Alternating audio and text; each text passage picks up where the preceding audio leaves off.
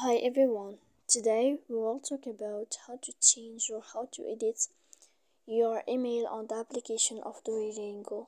To know how to change or how to edit your email on the application of Duolingo, you should just go to the app of Duolingo as you see and we click. After that in this page, you will go down to click in this sign and you will enter. When you will find this page here, you will go to above and you click in this sign. Then you will find this page and you will go to click email. Then you can edit here or, or change your email as you see and you will click. And you will go to click here save as you see. So please don't forget to support us by like and subscribe. See you next time in another video.